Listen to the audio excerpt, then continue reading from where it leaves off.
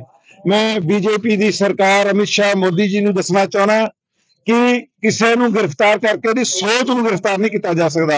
ਆ ਜਿੰਨੇ ਅਸੀਂ ਖੜੇ ਆ ਪੂਰੇ ਹਿੰਦੁਸਤਾਨ ਦੇ ਵਿੱਚ ਪੰਜਾਬ ਦੇ ਵਿੱਚ ਜਿਹੜੀ ਸੋਚ ਅਰਵਿੰਦ ਕੇਜਰੀਵਾਲ ਦੀ ਲੱਖਾਂ ਲੋਕਾਂ ਦੀ ਉਹਨੂੰ ਕਿੱਥੇ ਗ੍ਰਿਫਤਾਰ ਕਰ ਲੋਗੇ ਜਿਹੜੀ ਇਹ ਸੋਚ ਉਹ ਗ੍ਰਿਫਤਾਰ ਨਹੀਂ ਹੋ ਸਕਦੀ।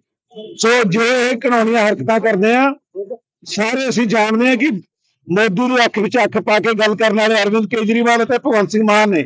ਉਹ ਚਾਹੁੰਦੇ ਨੇ ਕਿ ਇਹ ਜਿਹੜੀ ਸੋਚ ਆਮ ਆਦਮੀ ਪਾਰਟੀ ਹੈ, ਇਹਨੂੰ ਦਬਾਇਆ ਜਾਵੇ ਔਰ ਅਸੀਂ ਤੁਹਾਨੂੰ ਇਹ ਚੇਤਾਵਨੀ ਦਿੰਦੇ ਆ ਬੀਜੇਪੀ ਦੀ ਸਰਕਾਰ ਨੂੰ ਕਿ ਪੰਜਾਬ ਔਰ ਦਿੱਲੀ ਅਸੀਂ ਸਾਰਾ ਜਾਮ ਕਰ ਦਿਆਂਗੇ।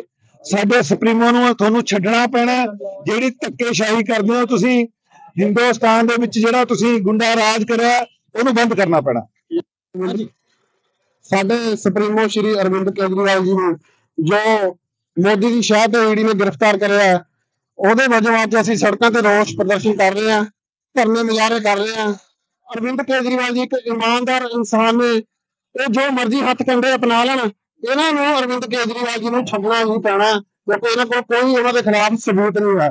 ਇਹ ਇਲੈਕਸ਼ਨ ਦੇ ਦੌਰਾਨ ਸਿਰਫ ਉਹਨਾਂ ਇੱਕ ਧੱਕਾ ਕਰ ਰਹੇ ਆ ਇਹ ਮੋਦੀ ਡਰਦਾ ਅਰਵਿੰਦ ਕੇਜਰੀਵਾਲ ਜੀ ਤੋਂ, ਇਸ ਕਰਕੇ ਉਹਨਾਂ ਨਾਲ ਪ੍ਰਚਾਰ ਕਰਨ ਲਈ ਵੀ ਉਹ ਥਾਂ ਥਾਂ ਤੇ ਪ੍ਰਚਾਰ ਕਰਨ ਜਾ ਰਿਹਾ, ਇਸ ਲਈ ਇਹ ਧੱਕਾ ਕਰ ਰਹੇ ਆ।